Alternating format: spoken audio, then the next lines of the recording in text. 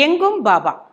அப்படிங்கிற இந்த நிகழ்ச்சி முழுக்க முழுக்க சாயி சச்சரித்தத்தை அடிப்படையாக கொண்டு உங்களுக்காகவே உருவாக்கப்பட்டது. சாய் அன்பர்கள் பலருடைய வாழ்க்கையில் இந்த சச்சரித்தம் புஸ்தகம் பலவித பிரச்சனைகளுக்கு தீர்வு தரதோடு இல்லாமல் மனதுக்கு ரொம்ப ஆறுதலை தருது அப்படிங்கிறது அவங்கவங்க வாழ்க்கையில் கண்ட அனுபவம். உங்களுடைய அன்றாட வாழ்க்கையில் ஒரு அங்கமாக சாயியின் அருளை கொண்டு சேர்ப்பது எங்கும் பாபா. சாயி சச்சரித்தத்தை படிக்க புரிய வைக்க உங்களுக்காக உங்களோடு நான். சாயியுடன் இணைந்திருக்கும் நம் அனைவருக்கும் ஒவ்வொரு நாளும் இனிய நாளாகவே மலரும். எங்கும் பாபா சாய்ரா எங்கும் பாபா நிகழ்ச்சியில் உங்களை எல்லாரையும் சந்திக்கிறதுல எனக்கு ரொம்ப மகிழ்ச்சியாக இருக்குது பாபாவுடைய வரலாறு பார்த்துக்கிட்டு இருக்கோம். எப்படி பிறந்தார் எப்படி வளர்ந்தார் எப்படி குருகுலத்தில் இருந்தார் எப்படி அந்த கெட்ட பசங்கள் நடுவில் தான் ஒரு மாணிக்கமாக ஜொலிச்சார். அப்புறமா ஷீரடிக்கு வந்தார். ஷீரடிக்கு வந்து ஒரு வேப்ப மரத்தடியில் உட்காந்துருந்து அங்கே இருக்கிற அந்த வேப்ப மரத்து அடியில் தோண்டி பார்த்து உள்ளே ஒரு குகை இருந்தது. அங்கே விளக்கு எரிஞ்சது. ஒரு பலகையில் ஜபமாலையெல்லாம் இருந்தது. அது அவருடைய குருநாதருடைய தபஸ் பண்ணும் இடம் அப்படிங்கிறத மட்டும்தான் அவர் சொன்னார். அங்கேருந்து அந்த இளைஞன் காணா போயிட்டான் யாருக்குமே தெரியாது. எங்கே போயிருக்காருன்னு யாருக்குமே தெரியாது. ஆனால் அவர் திருப்பி ஷீரடிக்கு வரணுமே எப்படி வந்தார்? அது ஒரு கதை. ஒரு காட்டில் ஒருத்தர் உட்காந்துருந்தார் நீண்ட கஃப்னி. இந்த பாபா போட்டிருக்கிற ஆடைக்கு பேர் இப்போ நம்ம மேலே போர்வை போட்டிருக்கோம் இல்லையா? அப்படி இல்லாமல் அவர் நீண்ட அங்கி ஒன்று போட்டிருப்பாரு. தலையில் குல்லா போட்டிருப்பார் இல்லாட்டா துணியை கட்டியிருப்பார். அப்படி கஃப்னி அந்த குல்லாய் போட்டு கையில் ஒரு சட்கா அப்படின்னு ஒரு குச்சி ஒரு தடி குறுந்தடின்னு சொல்லலாம். அதை வச்சுக்கிட்டு ஒருத்தர் உட்காந்துருந்தாரு அந்த வழியாக யார் வந்தாங்க அப்படின்னு கேட்டாக்கா தூப் காவ் அப்படிங்கிற கிராமத்து சேர்ந்த ஒரு இஸ்லாமிய ஒரு பெருந்தகை. பெருந்தகைன்னு ஏன் சொல்கிறேன்னா தனவந்தர். அவரோட வியாபாரம் குதிரை குதிரை வியாபாரம். ஒரு முறை அவர் இங்கேருந்து அவுரங்காபாத்துக்கு நிறையா குதிரைகள் எல்லாம் ஓட்டிட்டு போய் அங்கே போய் விற்றுட்டு பணம் எடுத்துன்னு வர வழக்கம். போனால் ஒரு பெண் குதிரை அவரோடது காணா போயிடுச்சு. என்ன பண்ணுறதுன்னு தெரியல. தேடினார் தேடினார் ரெண்டு மாதம் தேடினார். அந்த பெண் குதிரை அவர் ரொம்ப ஸ்பெஷல். நல்ல விலைக்கு கூட விற்றுருக்கலாம் இல்லை நானே கூட வச்சுருந்துருக்கலாம் அப்படின்லாம் அவர் நினச்சார். அந்த எப்பொழுதுமே நம்ம ஒரு பொருளை தொலைச்ச பிறகு அந்த பொருள் மேலே நமக்கு இன்னும் கொஞ்சம் எவ்வளவு அன்பு இருந்திருக்கு எவ்வளவு ஆசை இருந்திருக்கு அப்படிங்கிறது தெரியும். தொலைகிற போது தெரியாது. அடாடா அது இருந்திருந்தா அது இருந்திருந்தான்னு சொல்லுவோம் இல்லையா? அதே போல தான் இவரும் அடாடா இந்த பெண் குதிரையை இப்படி எங்கேயோ காணா போயிடுச்சே அப்படின்னு நினச்சிட்டு ரெண்டு மாதம் தேடியும் கிடைக்கல இனிமேல் அது கிடைக்காதுன்னு சொல்லிட்டு அவர் திரும்பி வராரு. அவருடைய கிராமத்துக்கு தூப்காம் போகிற வழியில் ஒரு மாந்தோப்பு ஒரு மான் தோப்பில் அவர் அப்படியே வந்துக்கிட்டு இருக்கும்போது அவர் கவனிக்கலை. அங்கே ஒரு மாமரத்தடியில் உட்காந்துருந்த ஒருத்தர் வந்து ஏ சாந்து பட்டீல் இங்கே வா அப்படின்னு. ஆ என் பேரை சொல்லி யார்ப்பா இங்கே கூப்பிடுறது? அப்படின்னு பார்த்தாக்க அங்கே ஒருத்தர் உட்காந்துருக்காரு ஆனால் அப்படி முகத்தில் ஒரு தேஜஸ் ஒரு நீண்ட அங்கி கையில் ஒரு சட்கா இந்த குறுந்தடி தொப்பி போட்டு குல்லாய் போட்டுன்னு உட்காந்துருக்கிறாரு சுவாமி என்னையா கூப்பிட்டீங்க? அப்படின்னு கேட்டா ஆ இங்கே வா. என்ன? உன் குதிரையை காணுமா? உன்னோட அந்த பெண் குதிரையை காணுமா? அப்படின்னு கேட்ட உடனே உங்களுக்கு எப்படி தெரியும்? எனக்கு தெரியும் அப்படின்னு சொல்லிட்டு அங்கே ஒரு ஆலமரம் தெரியுது பார் அங்கே போய் பார். அந்த ஆலமரத்தடியில் உனக்காக காத்துட்ருக்கு பார் உன் குதிரை. அவ்வளோதான் இவருக்கு அதாவது ஒருத்தன் வந்து சாப்பாட்டுக்கே வழி இல்லாமல் இருக்கிறவன் போயிட்டுருக்கிற போது ஒரு புதையல் கிடச்சா எப்படி இருக்கும்? அந்த மாதிரி சந்தோஷம் இருக்குது அவர் ஓடுறார். ஓடி போய் அந்த ஆலமரத்துக்கு அடியில் பார்த்தா அந்த பெண் குதிரை கனச்சு தான் இவரை கண்ட உடனே அதுக்கு ஒரே சந்தோஷம். அவரும் அதை தடவி கொடுத்து அடாடா ரெண்டு மாதமாக உன்னை தேடினேன் ஆனால் உன்னை கண்டுபிடிச்சி கொடுத்த மகான் அங்கே இருக்கார் வா அப்படின்னு சொல்லி குதிரையும் அழைச்சிட்டு வந்து இவர்கிட்ட வந்து சுவாமி உங்களுக்கு எப்படி தெரியும் அப்படின்னாக்க தெரியும் எனக்கு. அவ்வளோதான் சொன்னார் ஜாஸ்தி ஒன்றும் பேசலை. ஆமாம் உனக்கு ரொம்ப தாகமாக இருக்குமே. ஆமாம் அப்படின்னாராம் சாந்த் பட்டீல் ஒருத்தருடைய முகத்தை பார்த்து பசி தாகம் இருக்குன்னு தெரியணும்னா அதுக்கு ஒரு தாய் உள்ளம் வேணும். வந்தீங்களா? வேலை முடிஞ்சுதா? போங்க அப்படிம்பாங்கல்ல அப்படி இல்லை. ரொம்ப தாகமாக இருக்கோ? அப்படின்ன பொழுது அவர் என்ன தெரியுமா செஞ்சாராம்? கையில் இருக்கிற சட்காவினால் அந்த குறுந்தடியினால் பூமியில் ஒரு தட்டு தட்டின உடனே அப்படியே தண்ணீர் பீறிட்டு வந்துதான். நல்ல ஒரு ஃபவுண்டன் மாதிரி தரையிலேருந்து இத்தினோண்டு அடித்த இடத்துலேருந்து தண்ணி பீறிட்டு வந்துதான். ம் குடி அப்படின்னாராம். அந்த ஃபவுண்டன்லேருந்து அப்படியே கையில் ஏந்தி சாந்துப்பட்டியில் குடிச்சிட்டு நான் இவ்வளவு இனிப்பான தண்ணி சாப்பிட்டதே கிடையாது. இது எப்படி உங்களால் இந்த கு- காணாமல் போன குதிரையை சொன்னீங்க? அப்புறம் எனக்கு தண்ணி வேணும்னு நீங்கள் உணர்ந்து எனக்கு இப்படி ஒரு அமிர்தம் போல் ஒரு தண்ணீரை கொடுத்தீங்க. எனக்கு உங்களை எப்படி பாராட்டுறதுன்னு தெரியலன்னு அவர் சிரிச்சுக்கிட்டே ஒன்றும் இல்லை நீ பாட்டு போகலாம் அப்படின்னாராம். அப்போ அவர் சொன்னாராம் ஏன் சுவாமி நீங்கள் தனியாக தானே இருக்கீங்க? யாரும் இருக்கிறாங்களான்னு ஒன்று அப்போ நீங்கள் என்னோட எங்கள் கா கிராமத்துக்கு வந்துருங்களேன். எனக்கு நல்ல எல்லாரும் இருக்கிறாங்க சொந்தக்காரங்கள்லாம் இருக்கிறாங்க. இந்த தூப்காவுங்கிற கிராமம் ரொம்ப நல்லாயிருக்கும் வாங்களேன் நாங்கள் கூட்டு குடும்பமாக இருக்கோம்னு சொன்ன உடனே அவர் உடனே சரின்னுட்டார். அதுதான் ஆச்சரியமான விஷயம். அவருக்கும் யாரும் இல்லைங்கிறாரு. எங்கேயோ ஒரு மாந்தோப்பில் திடீர்னு உட்காந்துருந்தவர் கையில் ஒரு சட்கா வச்சுன்னு உட்காந்துருந்தவர் காணா போன குதிரை அந்த ஆலமரத்துக்கு அடியில் இருக்குன்னு சொல்லி அவர் அதை எடுத்துகிட்டு வந்த உடனே தண்ணி வேணுமான்னு கேட்டு அவர் உடனே பூமியில் சட்காவால் அடித்து அந்த தண்ணியை குடிச்சிட்டு அவருக்கு ஆறுதல் அடைஞ்சு அவ்வளோ நல்லா இருந்தது அந்த தண்ணின்னு சொல்லி என்னோட நீங்கள் கிராமத்துக்கு வரீங்களா? அப்படின்ன பொழுது அவர் எப்பேற்பட்ட பெருந்தகை அவர் கேட்குறாருன்னா கூட ஆஹா வரேன். அங்கே தான் பாபாவுடைய எளிமை நமக்கு புரியுது. அப்பவும் அவர் அவரை பாபான்லாம் கூப்பிடல. யாருக்குமே தெரியாது. அவரோட பேரே என்னன்னு தெரியாது. நான் நம்மளுக்கு ஓரளவுக்கு தெரியும் இல்லையா? நீங்கள் நான் பாபா தானே இந்த நிகழ்ச்சியே.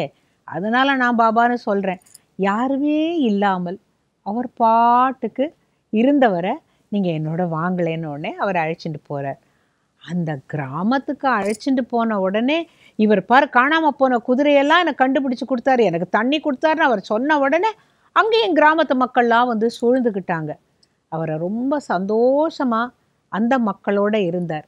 இப்போ நீங்கள் பாருங்கள் இந்த கதை போக்கு அவருடைய வரலாறு போக்கு பாருங்கள் பத்திரியில் பிராமண குடும்பத்தில் பிறந்து இஸ்லாமியரால் வளர்க்கப்பட்டு பின்பு வெங்கூசா என்னும் பிராமண வேத பண்டிதரிடம் இருந்து இப்பொழுது சாந்துப்பட்டியில் என்கிற இஸ்லாமியர் வீட்டுக்கு தான் போகிறாரு அங்கே தான் இருக்கிறாரு.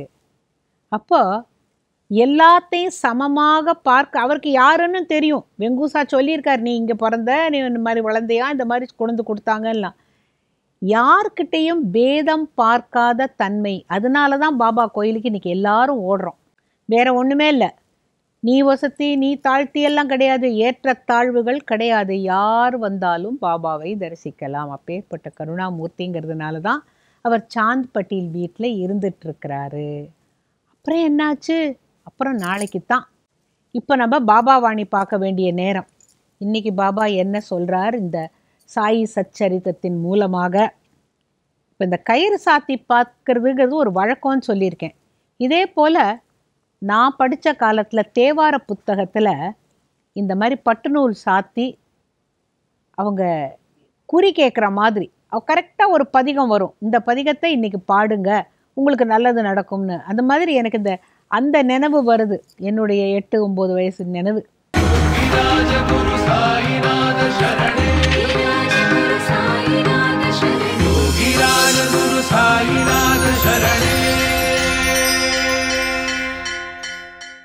யாரை அவர் ஆசீர்வதிக்கிறாரோ அவர்கள் எல்லையற்ற வன்மை பெற்று மெய் பொய் ஆகியவற்றை பகுத்து உணரும் ஞானம் எய்துகிறார்கள். இன்னைக்கு இந்த இந்த வாசகம் வர்றதுக்கும் இந்த சாந்து பட்டியலோட குதிரை கிடைச்சதுக்கும் எப்படி பொருத்தமாக இருக்கு பாருங்க. நம்ம பாட்டு எடுத்து ஒரு ஒரு கயிறை சாத்தி பார்க்குறோம் அதோட தொடர்பு உ- உள்ளதாவே வந்துட்டு இருக்குங்கிற பொழுது இந்த நீங்கள் நாம் பாபாங்கிற இணைப்பும் இந்த பிணைப்புக்கும் எங்கேயோ ஒரு தெய்வீக ஒரு ஆற்றல் இருக்குன்னு நான் நம்புகிறேன் அப்போ அந்த தெய்வீக ஆற்றலை எங்கே போய் பார்க்க போகிறோம் இப்போ? ஒரு கோயிலில் போய். வாங்க முதல்ல கோயிலுக்கு போயிட்டு வருவோம். வந்த பிறகு நாமாவளி பார்ப்போம்.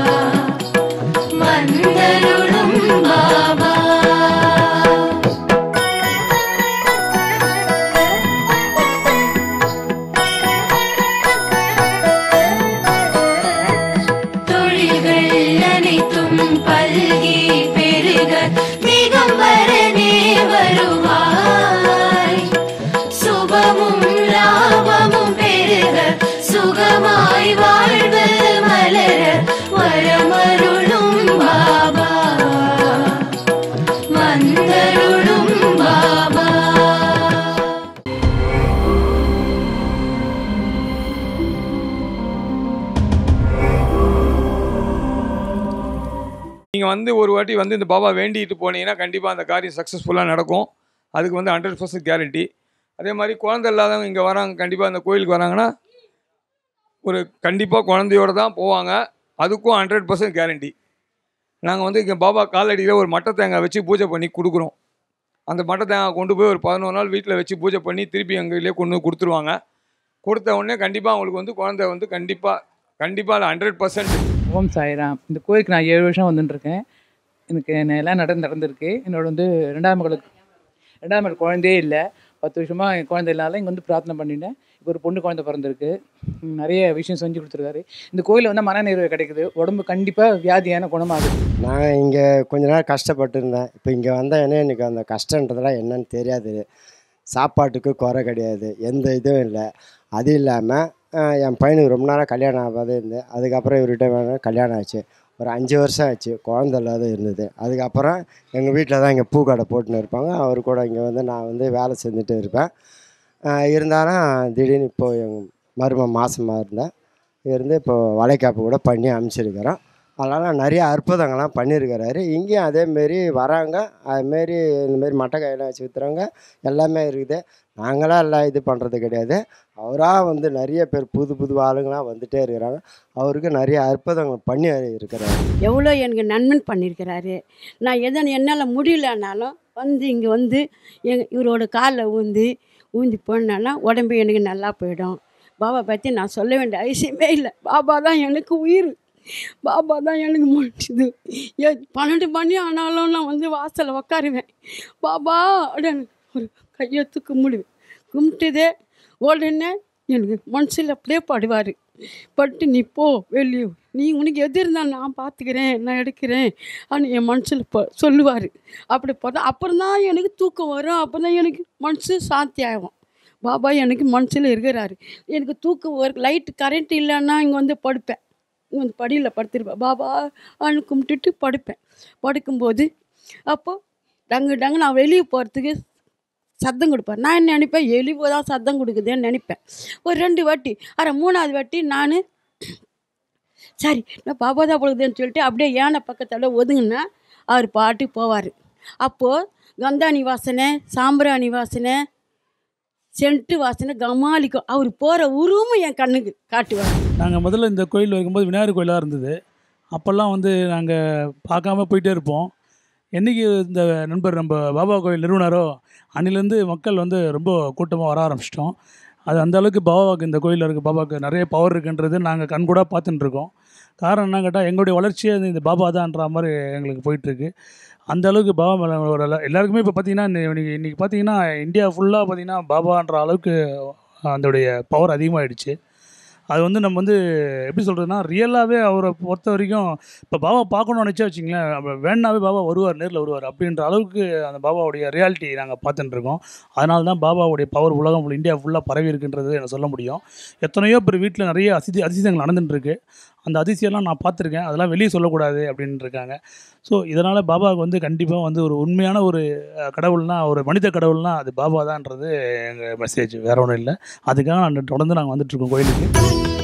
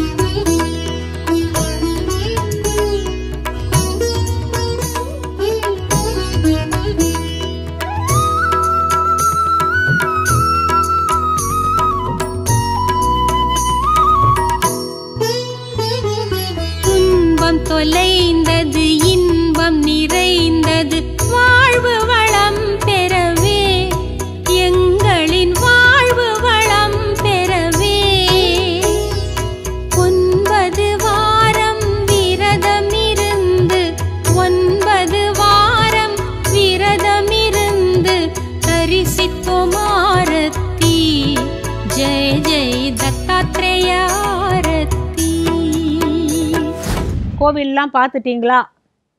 வழக்கம் போல் அதே நாமாவளி தான் ஜெய் ஜெய் சாயிராம். ஷிரடிநாதன் சாயிராம். ஈசனும் சாயிராம் சர்வேஷனும் சாயிராம். ராமனும் சாயிராம் கிருஷ்ணனும் சாயிராம். ஜெய் ஜெய் சாயிராம். சீரடிநாதன் சாயிராம். சீரடிநாதன் சாயிராம். சாயிராம்.